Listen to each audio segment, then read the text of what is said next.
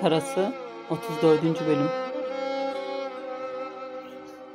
Ali, Şamil ve Hasan dayısını karşılamak üzere Medine Havalanı'na gitti. Saat 9'da iniş yapacaklardı. Kısa bir süre sonra pasaport kontrolü geldiklerinde Ali yanlarına geldi. Oldukça sıcak bir şekilde Ali ve Şamil birbirlerine sarıldılar. Hasan Basir yeğeninin gergin halini görünce Ali eve gitmeden önce bir yerlerde oturup konuşalım. Sonra eve gideriz. Sen neler olduğunu önce bize dışarıdan müdahale olmadan anlat. Anlat ki sağlıklı karar verelim dedi. Şamil'in bunu onayladığını görünce annem yemek hazırladı ama ben sizi yemeğe götüreyim. Yemek mi? Yiyeceğimizi söylemiştik dedi Şamil. Gidelim mi? Yemek yiyeceğiz de evde değil, gittiğimiz yerde diyerek yolu işaret etti Ali. Hava akşam olmasına rağmen sıcaktı. Tamamen Arap yemekleri yapılan şık bir lokantaya geldiler. Yemek siparişi geldi.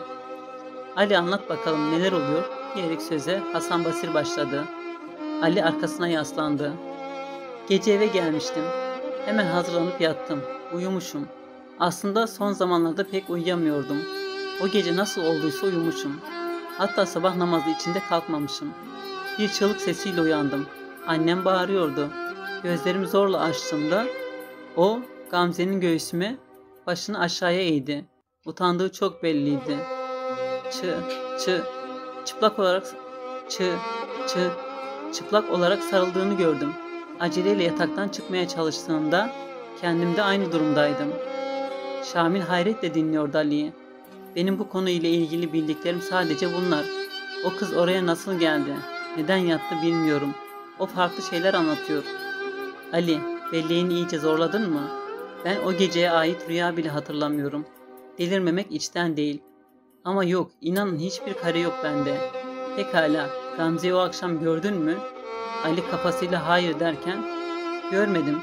Zaten bir önceki gün gelmişti. Ve Şamil seninle alakası yok inan. Sırf iftira atabildiği için Şeyma'ya bu kız bu evden hemen gidecek demiştim. Şeyma da o gece ben eve gelince yarın gidecekmiş diye haber verdi. Yani ben zaten onun sadece geldiğini gördüm.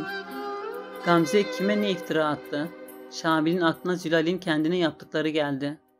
Şey derken ellerin titrediği belli olacak diye korktu. As, ablasının hamile olduğunu söylemiş Şeyma ve anneme. Şamil kaşlarını çattı. Ne? Neden?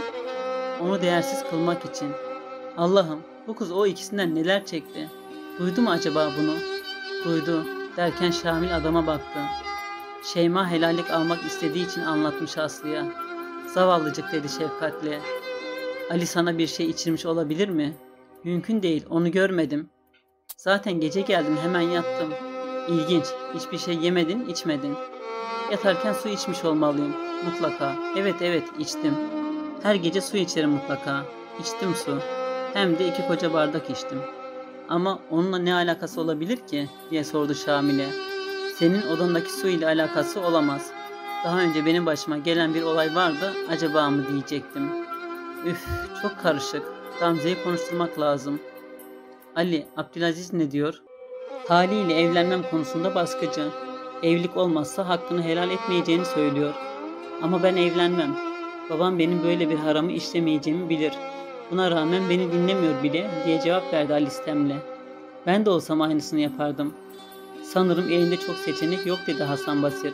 Hasan dayı sizi de bu hasta halimize buraya yorduk dedi Ali bastonu göstererek. O artık benim vazgeçilmezim Ali. Onunla yaşamayı öğrenmem lazım.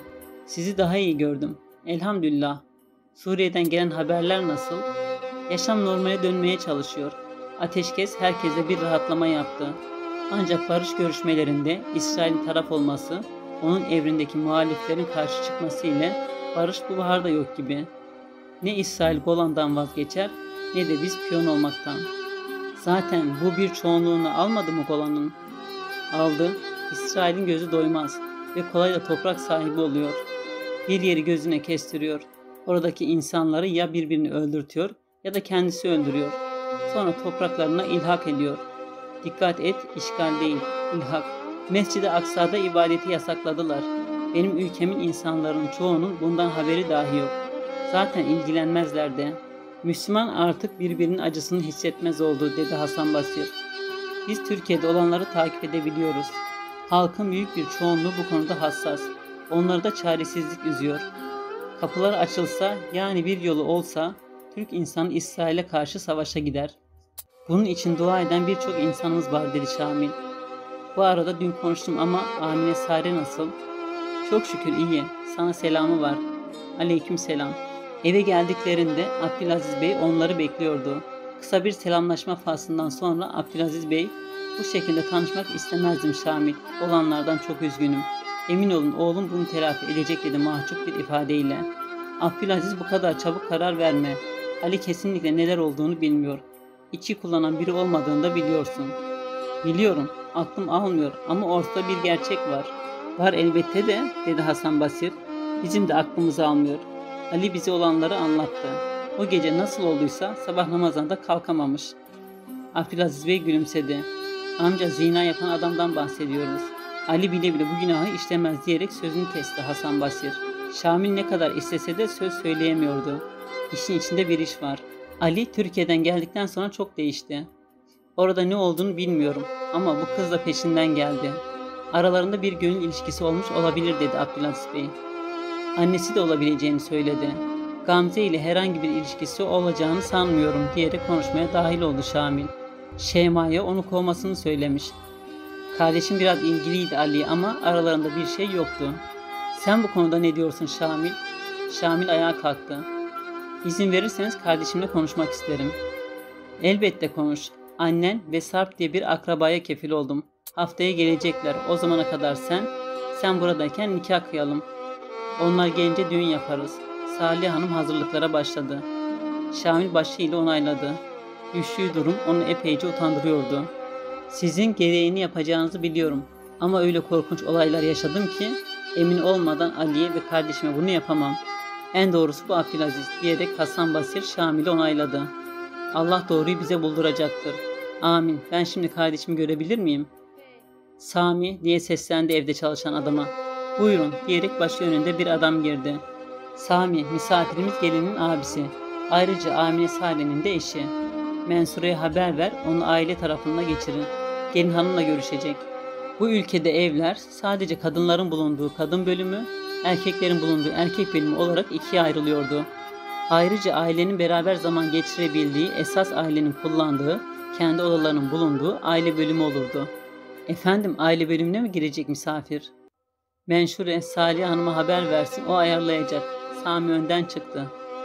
Şamil de arkasından gitti. Şamil geldiğini kardeşine söylenmemesini rica etmişti. Ona sürpriz olacaktı. Gamze kadın misafirlerin ağırlandığı kadınlar kısmında kalıyor ama aile bölümüne de girebiliyordu. Şeyma'dan rica etmişti. O da istemese de kabul etmişti. Şamil kapıda Salih hala karşıladı. Şamil oğlum hoş geldin dedi samimi bir şekilde. Hoş bulduk hala. Keşke bu şekilde değil de. Oğlum vardır bir hayır. Şimdi üzülüyoruz ama inşallah bu şerden hayır çıkar. Gel içeriye. Menşure şimdi Gamze'yi getirecek. Burada olduğumu bilmiyor değil mi? Elbette. Zaten odasında. Kimsenin gördüğünü de sanmıyorum. Beraber büyükçe bir odaya girdiler. Arap kültürünü yansıtan oldukça ağır mobilyaların olduğu bir odaydı burası. Onlar konuşurken Gamze odaya girdiğinde şaşkınlıkla ''Abi burada ne işin var?'' Diye sordu. ''Kardeşim evleniyormuş. Ben olmadan mı evleneceksin?'' ''Hayır da.'' Bu arada Salih Hanım ayaklandı. ''Ben gideyim siz konuşun.'' dedi çıkarken. ''Hala Ali de bize katılsa, malum damat o.'' ''Gerek yok abicim.'' diye atıldı Gamze. ''Hala gelsin.'' diye işaret etti. İkisi yalnız kalınca ''Anlat bakalım Ali'ye o uyku ilacını nasıl içirdin?'' Gamze kocaman gözlerle abisine baktı. Nasıl yani? Sen Ali'ye ilaç içirdin, onu biliyoruz. Ali'nin kanından çıktı diyerek onu konuşturmak için yalan söyledi. Tahlil mi yaptırdı Ali? Demek ki o Zilal'in bana içirdiğinden mi verdi annem sana? Hayır. Sadece uyuttunuz mu? diye sordu yine. Hayır ya ne ilacı? Saçmalama abi. Kes diye bağırdı Şamil. Hala yalan söylüyorsun. Senin hiç utanman yok mu? derken Gamze ağlamaya başladı. Ben ilaç vermedim. Odama gel dedi. Ben de geldim. Ali haramdan kaçan bir adam. Seni neden odasına çağırsın? Derken Ali iki kardeşin yanına geldi. Ali sen Gamze'yi neden odana çağırdın? Odama çağırmak mı? Asla benim onu görmem mümkün değil. Kadınlar bölümüne giremem. Ama ben o gece Şeyma ile kalmıştım. Evet orada kalmış ancak Şeyma beni görmemiştir. Sen beni nasıl gördün? Ve ben odana giderken karşılaştık. Gamze senaryo yazma. Bize sen o ilacı nasıl içirdin onu söyle. Odama girip suya mı koydun? Gamze ağlıyordu. Suyuma koydun değil mi? Gamze cevap vermiyor sadece ağlıyordu. İsterseniz jinekoloğa da giderim dedi sadece. Ağlaması daha da yükseldi. Hıçkırıkları artınca Menşure Hanım kızı alıp götürdü. Konuşmayacağı belliydi. Şamil başını ellerinin arasına almış düşünüyordu. Ben onunla evlenmem. Ben ona dokunmadım. Evlensem de dokunmam. Dün dövmek istedim onu. Şeyma engel oldu. Yalan söylüyor. Dövmek mi? Ali başını sallayarak onayladı. Bu ülkede kadın o kadar çok dövülür ki Allah'ın yasakladığı bilindiği halde hem de. Benim hep eleştirdiğim bir konu. Ülkemde ben kadına el kaldırdım. Allah yarattığına şiddeti yasak ettiği halde. Beni bu duruma getirdi bu iftirası. Şamil elini teselli vermek için omuzuna koydu. Bana inanıyorsun değil mi? Sana inanıyorum. Bu annemin bir oyunu. Ali başını yerden kaldırdı. Bana inandığın için Allah razı olsun.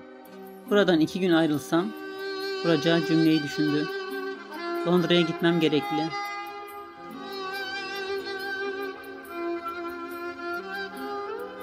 Şamil tüm ayrıntısına kadar Aslı ile aralarında geçenleri dinledi Ali'den. Gamze'nin yaptıklarını öğrenince çok üzüldü. Gıybet etmek, kardeşinin etini yemek gibidir. Bir bilseler, bilseler yaparlar mı acaba? Hele bir de iftira. Allah kitabında biz kullarına, namuslu kadınlara zina isnadında bulunup, sonra bunu ispat için dört şahit getirmeyenlere seksener sopa vurun ve artık onların şahitliğini hiçbir zaman kabul etmeyin. Onlar tamamen günahkardırlar diye buyuruyor diye açıkladı Ali. Aklım almıyor ya. Sizi biliyor olmalı. Şeyma ve anneni uzak tutmak için bunu uydurmuş demek ki. Annem inanmamış ama Şeyma'nın kafasında soru işareti oluşmuş. Hele hele Aslı ile bu konuyu konuştuktan sonra Aslı'nın sessiz kalması, Aslı neden susmuş bilmem ama bence kendini savunma gereği hissetmemiş olmalı. Yapmadığı bir şey için neden savunma yapsın ki?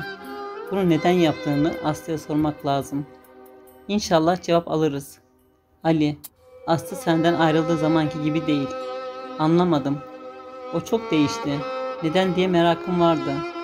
Şimdi cevap aldım. Neyse gidince göreceksin. Şamil dedi başını önüne eğerken. Her şeyi usulüne uygun yapmak isterim. Ama hayat o kadar çok şeye gebe ki Allah'ın emri, peygamberin sünneti için kardeşini bana eş olarak verir misin? Şamil gülümsedi. Kardeşim sana eş olarak vermekten onur duyarım dediğinde Ali bakışlarını yerden kaldırdı. Sizin kültürünüzde yaşayan birinin bizim adetlerimizde yaşaması zordur. Ama ben onunla bu zorluklarla mücadele edeceğim. Bence de çok zorlanacak. Ama bence kardeşim sadece sevmek ona yeterli olacaktır. Amine'yi düşün. Elinden geleni yapıyor bazen. Sıkıntı yaşadığı oluyor ama Gamze onunla ne yapacaksın diye sordu. Ali yarın onu buradan götüreceğim. Sizin yolunuza çıkmaması için elimden geleni yapacağım. Sana, sana yaşattığı her şey için senden özür dilerim kardeşim. Senin gibi bir damadım olacağı için de ayrıca mutluyum. Şamil ayağa kalktı. Şimdi Efendimiz'i ziyarete gideceğiz babamla. Allah yolunu açık etsin. Her işin kolay olsun. Beni gelişmelerden haberdar et derken elini uzattı Şamil.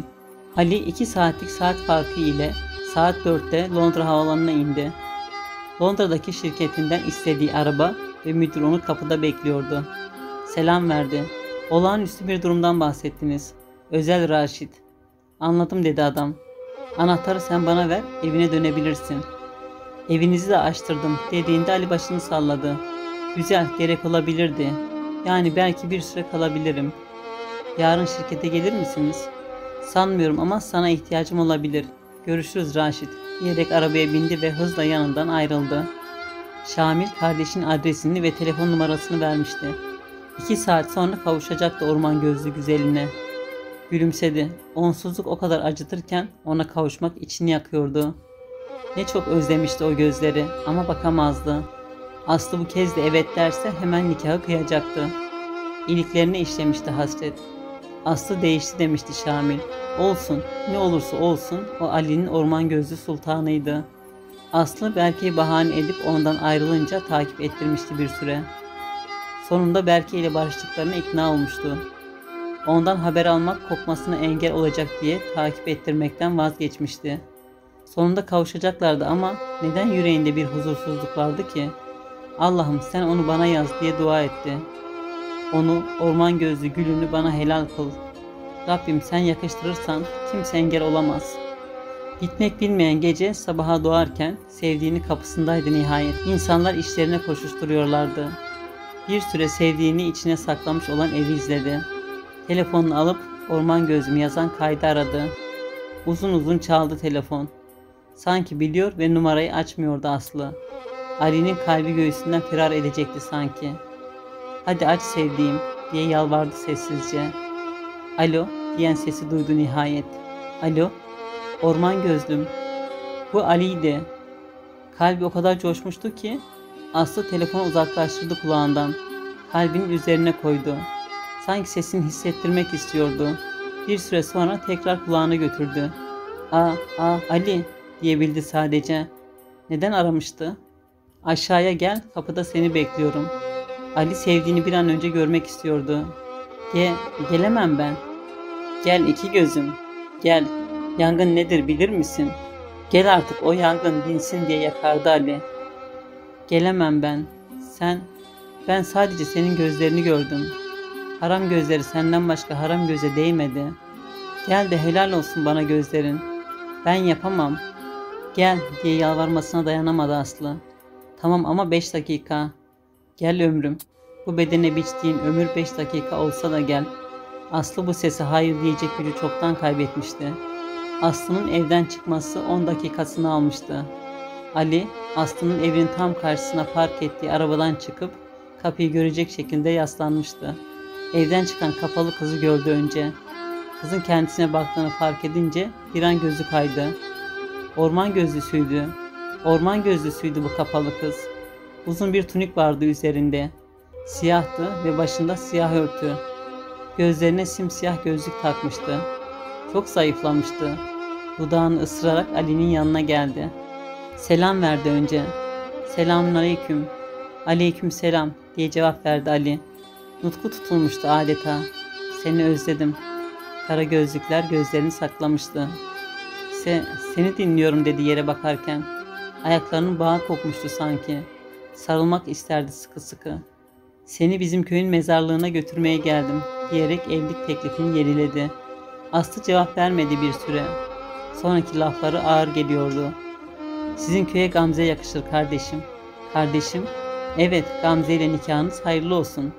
Ali kaşlarını çattı bir an. Sen, sen inandın mı? Bu kız onu hiç mi tanımamıştı? Gamze ile konuştum. O sabah senin yatağında olduğunu annem bile şahitmiş dedi acımasızca. Evet şahit ama ama nasıl geldiğini bilmiyorum. Nasıl olduğu önemli değil. O senin mahremin olmuş. Bana hayırlı olsun demek düşer. Ali Aslı'nın kararlılığını sesinden anlamıştı. Bu kez izin yoktu gitmesine. Sana neler olduğunu anlatmak isterim dedi birden. Elleriyle etrafı işaret etti. Sokak kalabalıklaşmaya başlamıştı. Burada ayakta olmaz. Arabaya oturalım. Gerek yok. Aslı'nın sesi buz gibiydi. Şey, insanlar garip bakıyor. Zaten zamanım az. Konuşacak bir şey yok. Olan olmuş. Bana hayırlı olsun demek düşer dedi Aslı. Ali kararlıydı. Tamam dedi kafasıyla onaylarken kızı. Ama anlatmama da izin ver derken kapıyı açtı. Arkasını döneceği zaman Aslı şu arabaya bin. Arkasını döneceği zaman Aslı şu arabaya bin. Allah rızası için. Bana borçlu olduğun iki ay için. Aslı olduğu yerde kaldı. Bana bir açıklama borçlusun. Ben eski ben değilim. O arabaya giremem. Tamam diyerek Ali arabayı çalıştırdı. Arabanın üstünü açtı. Haklısın. Şimdi sorun yok. Aslı yavaşça arabaya bindiğinde senden ne kadar af dilesem de iki ayı affettiremem bunu biliyorum. Neden?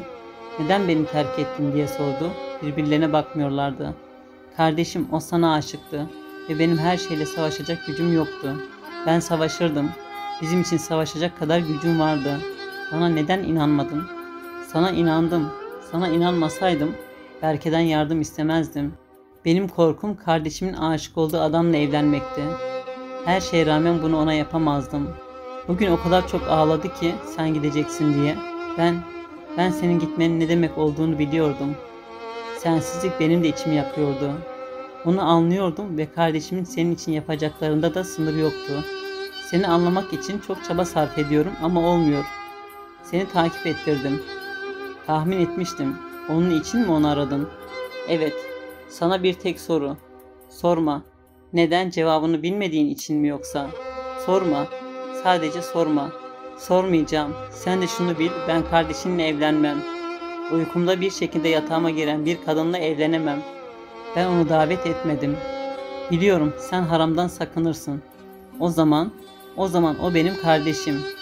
Ali aniden kapıları kilitledi, arabayı çalıştırdı. Ali ne yapıyorsun diyerek kapıyı zorladı. Seni kaçırıyorum orman gözlüm. Aslı korkuyla kocaman açtı yeşil gözlerini. Gerçekten Ali onu kaçırıyor muydu? İnanamaz bir şekilde epey yol aldılar. Ali yapma, Ali yalvarırım yapma diye inledi gözlerinden yaşlar akıtarak. Allah aşkına dur. Ali arabasını kenara çekerek durdu. Acı bir fren yaptı. Sonra başını direksiyona dayadı. Allah aşkına dediği için durmuştu. Sakin olmaya çalışıyor. Aslı'ya bakmıyordu bile. Kafasını kaldırdı, kapıların kilidini açtı. Zorla güzellik olmaz dedi sonra. Ben benim gibi yandığın hissine kapıldım. Özür dilerim, seni evine bırakayım derken arabayı çalıştırdı ve geri dönmek üzere hareket etti. Ali dedi Aslı teselli etmek için. Konuşmasak daha iyi olacak sanırım diyerek susturdu Aslı'yı. Ruhuna ilaç olan sesi duymak bile istemiyordu. Beni anla ne olur diye yalvardı Aslı canından daha aziz bildiği adama. Seni anlamak mı? Seni anladım ben sadece. Yanlış anlamışım düzelttim diye kırgın konuştu. Ali yanlış anlamadın. O benim kardeşim ve sana aşık. Sen ve ben olmayız, olamayız. Sen sevgi nedir bilmiyorsun. Bana anlatma onun beni sevmesi senin için çok önemli ama benim için anlamsız. Benim için önemli olan bir tek sensin. Gerisi boştu benim için. O kim ki ya kim? Seni idam sehpasına çıkarsalar bir tekme atacak biri. Öyle biri için sevdiğinden vazgeçer mi insan? Başını salladı olumsuzca. Hayır. Arabayı durdurdu. Git artık dedi sakince. Aslı kapıyı açmak için kapıya elini uzattı. Ben dedi sesi titreyerek. Ben Aslı git. Git Aslı diyerek onu susturdu Ali. Sesinin soğukluğu ortamı donduruyordu. Aslı tüm gücünü toplayarak arabadan çıktı. Ali bir saniye bile beklemeden uzanıp kapıyı kapattı. Gaza basıp oradan ayrıldı. Aslı arkasından baktı sevdiği adamın. Ona çektirdiği acılar için kendinden nefret ediyordu. Anlatamazdı ki, söyleyemezdi. Ali öğrenirse neler olduğunu, Aslı'nın Ali'si olmazdı ki. Şimdi de değildi, o zaman abisi de olmazdı. Gözlerinden yaşlar süzülürken Ali'nin çoktan görünmez olduğunu fark etti. Gittiği yola baktı uzun uzun. Onu ne kadar çok özlemişti. Çok zayıflamıştı. Dev gibi adam erimişti sanki. Gözlerine bakmayı ne çok istemişti. Ali ona orman gözlüm derdi ya, o da orman gözlerini kara gözlüklerle saklamıştı. Daha da çok sevmeye başlamıştı sanki. Küllendiremediği ateş daha da harlanmıştı. Evine girmeliydi. Merdivenden destek alarak dairesine çıktı. Anahtarın çantasına koyduğuna emindi oysa yoktu. Bulamıyordu. Epey bir uğraştan sonra anahtarını buldu. Çantadan çıkarıp kapıyı açmaya çalışırken ellerin titrediğini fark etti. Tüm vücudu titriyordu aslında. Uzun uğraştan sonra kapıyı açıp eve girdiğinde telefonun sesini duydu. Sanki beynine uyuyordu bu ses. Şimdi kimseyle konuşacak halde değildi. Alice gitmişti. Hem de tamamen. İki ay önce bitmişti bu ilişki ama nedense içinde bir yerlerde ümit vardı. Demek ki başörtüsünü çıkardı büyük bir hınçla. Yatak odasına gidip Alice'in emanetini aldı eline. Günlerdir Ali'ydi onun için. Kokladı önce sonra sarıldı. Ayakta durmaya dermanı tükenmişti. Evinin duvarları bir kez daha şahit olduğu çığlık çığlığa ağlamasına. Bu kadar acı onun için fazlaydı. Artık dayanacak gücü yoktu. Bitmişti artık. Yere çömeldi ağlayarak. Sadece Ali diyordu dili. Kalbini sökseler yerinden Ali diye feryat ederdi. Öğlene doğru ağlamaktan kıpkırmızı olmuş gözlerini açtı. Ne kadar ağlamıştı, ne kadar rüyasında Ali'nin kollarında teselli bulmuştu, bilmiyordu. Rüyasına yine gelmişti sevdiği. Yine saçlarını okşamış, yine sarmıştı kollarıyla sevdiği kadını. Sen benim duamsın demişti Ali. O da duaya amin demişti. Ne çok isterdi amin denilen duası olmayı. Zar zor yerden kalktı. Yatağa bile yatamamış yerde uyumuştu. Kalbinin acısı sert zeminde yatarken acı hissettirmemişti. Telefonu çarptı gözüne. Çalarken şarjı bitmişti. Telefonu eline aldı.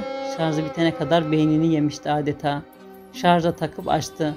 Annesiydi onu ısrarla arayan. Beş kere de abisi aramıştı. Birazdan abimi ararım diye düşündü. Annesi yine ne emredecekti acaba?